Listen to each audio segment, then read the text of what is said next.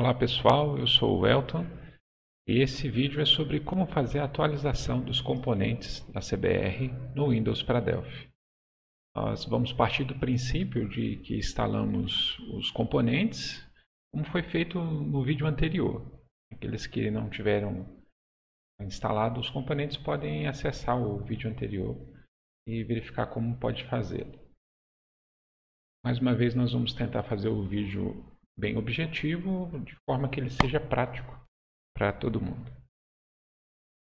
Bom, antes de começarmos a fazer a atualização em si, eu gostaria de mostrar para todos três recursos que são muito úteis é, para fazermos a atualização dos componentes. Até mesmo para nós podermos entender o que, que nós teremos de novas características, é, de novas funcionalidades nos componentes e entender também o que, que foi alterado nos componentes. Primeiro, primeira recurso útil, a primeira ferramenta útil, está na pasta dos componentes. Vou abrir aqui a pasta dos componentes do ACBR é, e vamos entrar aqui na pasta de fontes, a pasta do pacote de documentos fiscais eletrônicos vocês podem observar que tem esse arquivo acbr-dfe changelog.txt. Todos os componentes e pacotes têm esse arquivo é, na sua pasta, de um modo geral. E ela traz para nós as alterações que estão sendo feitas nos componentes.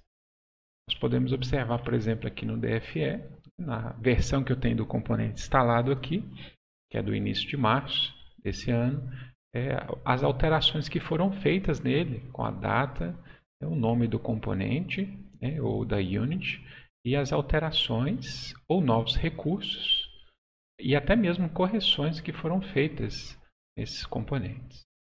Então, se nós queremos compreender o que, que foi alterado no componente, esses arquivos são muito úteis.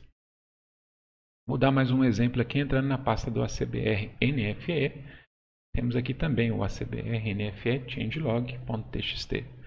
Mais uma vez, podemos observar que o histórico que foi alterado né, nos últimos dias, de acordo com o componente que eu já tenho aqui instalado na minha máquina.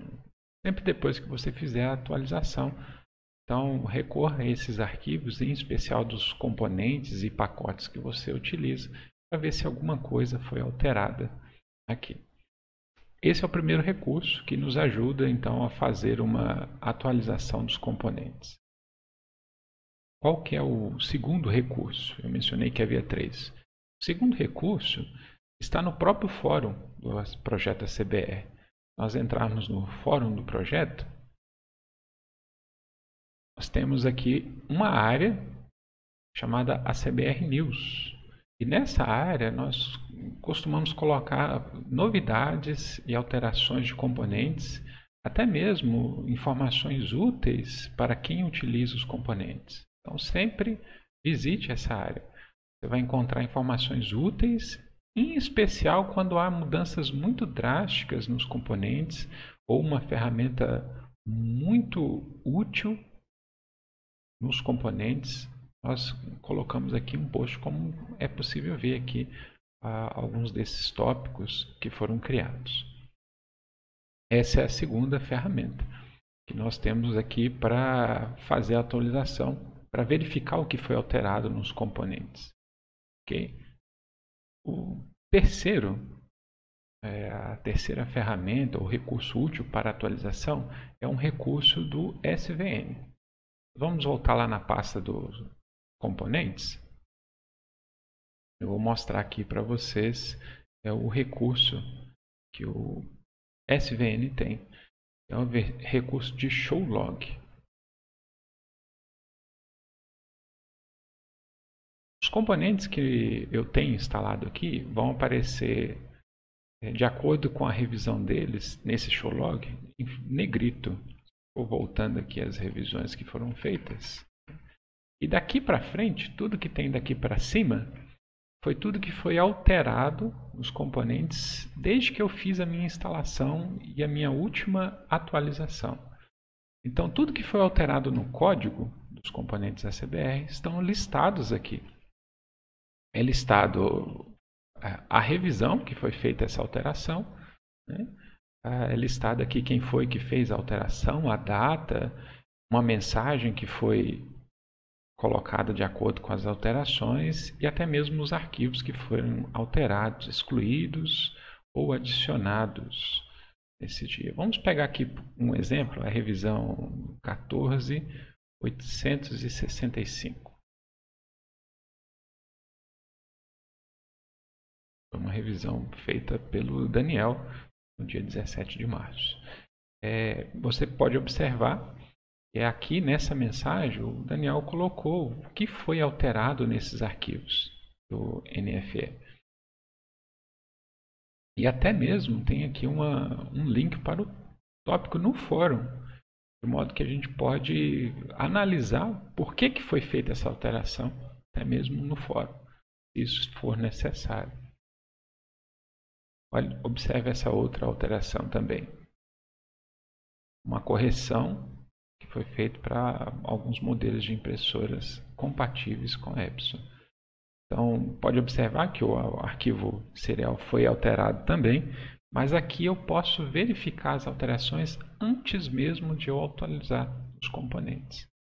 Isso é muito útil para a gente saber se seria bom para nós, como desenvolvedores, atualizarmos o componente nós podemos perceber por aqui que talvez estejamos perdendo muitas funcionalidades novas que foram inseridas e até mesmo correções é, sem que nós tenhamos atualizado o componente. E também pode indicar né, se nós vamos ter algum conflito com o código nosso é, instalado. Então esses três recursos são muito úteis ao atualizarmos os componentes. O changelog, para verificar o que foi alterado já no componente que está instalado na máquina ou o que foi atualizado. A área de novidades do fórum, que é onde é postado não só as alterações dos componentes, mas também às vezes até é, novidades sobre a área de automação e sobre o projeto ACBR. E é claro, ali o show log do SVN, que mostra o que foi alterado nos arquivos do projeto. Se nós já entendemos que nós devemos fazer a atualização do componente, então ela é muito simples de se fazer. Basta clicar com o botão direito e clicar nessa opção SVN Update. O próprio Tortoise SVN vai fazer a atualização do código fonte dos componentes. O que eu fiz aqui foi atualizar os componentes para a versão mais recente que nós temos. Depois de fazer essa atualização, os componentes na verdade já estão atualizados, mas o Delphi em especial, ele pode ter alguma dificuldade com novas propriedades que foram criadas nos componentes. Então, é importante nós executarmos o ACBR install mais uma vez.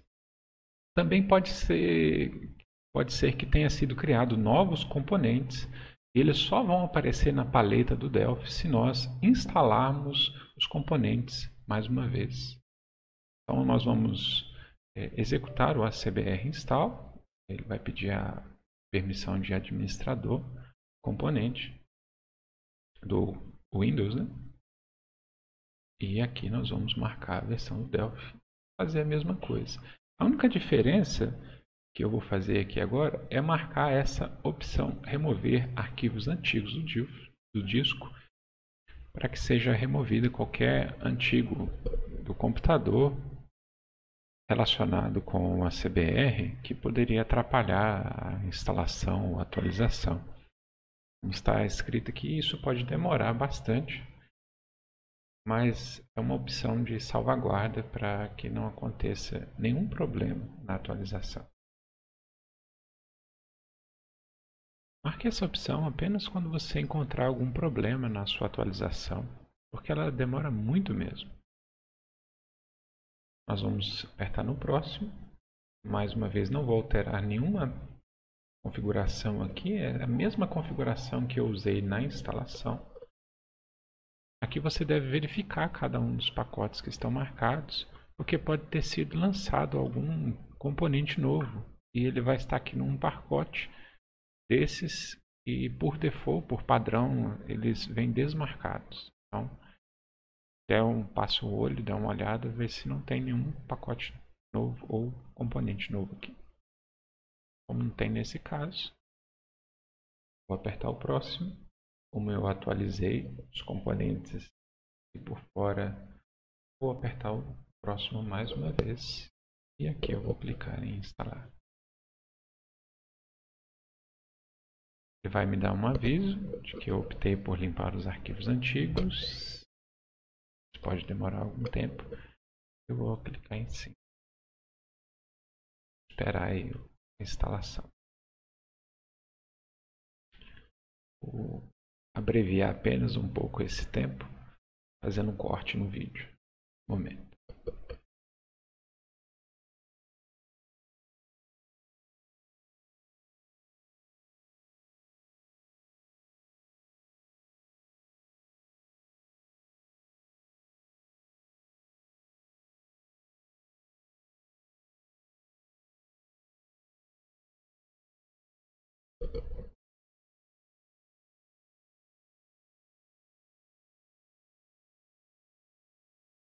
Pode ser visto, os pacotes já estão sendo instalados, compilado com sucesso. Guardar então.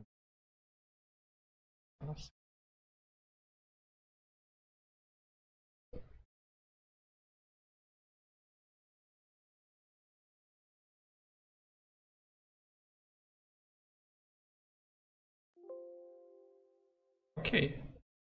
Pacotes foram instalados. Agora nós podemos abrir o Delphi, verificar a instalação.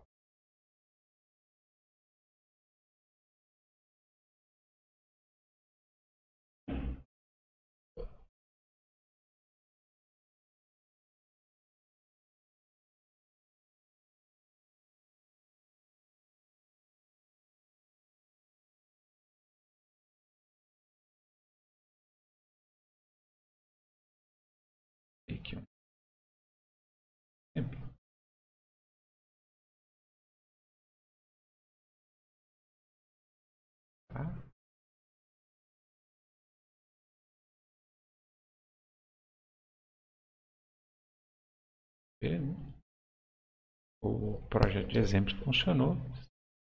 Os componentes estão instalados e atualizados. Muito bem, então esse era o o vídeo de atualização dos componentes do nosso projeto CBR. Mais uma vez, se você tem teve alguma dúvida, use o fórum para poder tirar suas dúvidas e use a área de comentários e análises do vídeo para dizer o que você achou, se gostou desse formato do vídeo e o que, nós poderíamos abordar também nos próximos vídeos. Bom trabalho para todos e até a próxima.